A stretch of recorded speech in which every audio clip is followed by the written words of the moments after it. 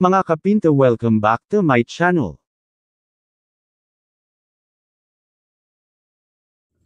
Mga kapinta, ipakita ko lang sa inyo ang flooring ng aming kwarto, dati ang tiles pininturahan ko lang, para magandang tingnan at nilagyan ko pa ng pangalan.